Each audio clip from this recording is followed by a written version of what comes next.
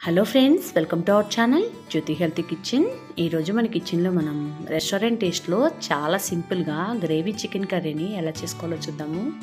ఈ విధంగా ఒక్కసారి ట్రై చేసి చూడండి. ప్రతిసారి ఇలానే ట్రై చేస్తారు చికెన్ కర్రీని ముందుగా ఒక బౌల్లోకి ఒక కేజీ చికెన్ని తీసుకున్నాను. అలాగే ఇందులోకి టూ స్పూన్స్ వరకు అల్లం వెల్లుల్లి పేస్ట్ టూ టేబుల్ స్పూన్స్ వరకు కారం అలాగే వన్ స్పూన్ వరకు గరం మసాలా టేస్ట్కి సరిపడినంత సాల్ట్ అలాగే వన్ టేబుల్ స్పూన్ వరకు ధనియాల పొడి హాఫ్ స్పూన్ వరకు పసుపు వన్ టేబుల్ స్పూన్ వరకు ఆయిల్ని యాడ్ చేసుకొని ఈ మసాలాలన్నింటినీ ఈ చికెన్కి పట్టేలాగా ఈ విధంగా మ్యాగ్నేట్ చేసుకోండి.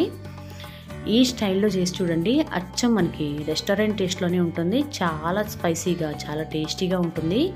అలాగే కారం తక్కువ తినేవాళ్ళు ఒక టేబుల్ స్పూన్ వరకు కారంని తగ్గించుకొని యాడ్ చేసుకోవచ్చు. అలాగే మనం ఇందులో పచ్చిమిర్చిని కూడా యాడ్ చేస్తాం కాబట్టి కారం అనేది చూసి యాడ్ చేసుకోండి.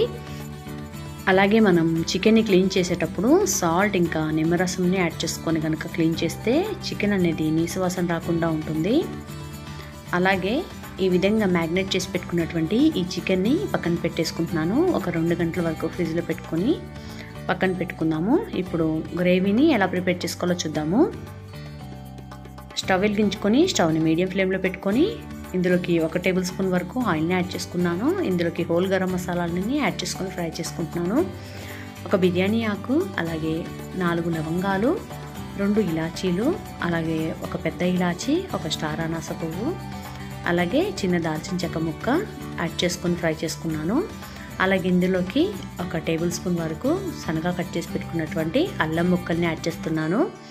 ఈ విధంగా అల్లం అనేది కొంచెం ఫ్రై అయిన తర్వాత ఇందులోకి రెండు పెద్ద సైజ్ ఆనియన్స్ని ఈ విధంగా స్లైసెస్లా కట్ చేసుకుని యాడ్ చేసుకుంటున్నాను.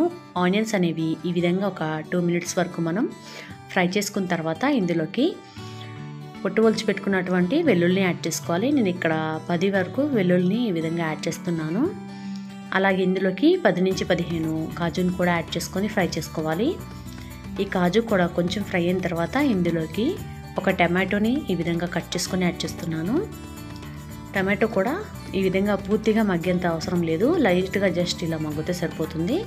ఇప్పుడు స్టవ్ ఆఫ్ చేసుకొని ఈ ఫ్రై చేసుకున్న ఈ మసాలాని ఒక మిక్సీ జార్లోకి తీసుకోవాలి. ఇది చల్లరిలోపు ఒక మిక్సీ జార్లోకి కొద్దిగా పుదీనా కొత్తిమీరని యాడ్ చేస్తున్నాను.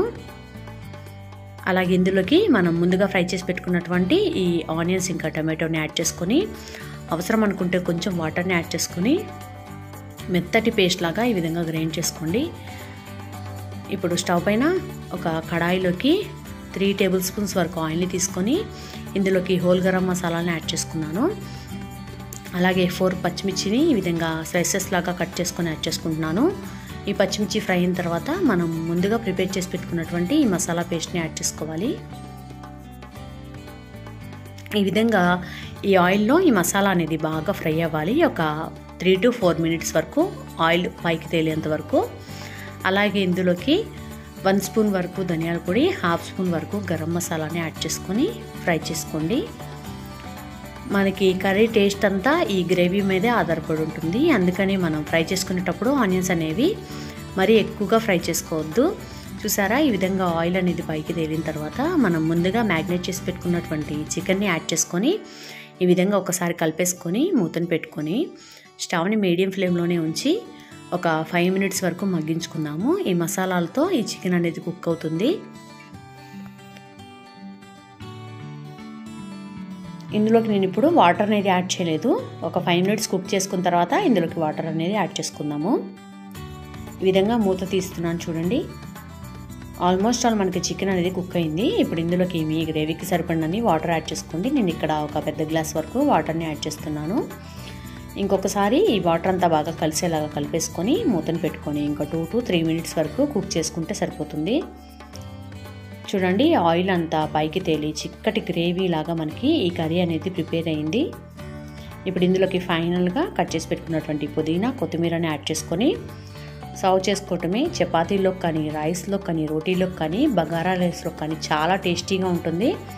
రెస్టారెంట్లో తిన్న ఫీలే ఉంటుంది. తప్పకుండా ఈ విధంగా ట్రై చేసి ఎలా వచ్చిందో నాకు కామెంట్ సెక్షన్లో కామెంట్ చేయండి ఫ్రెండ్స్.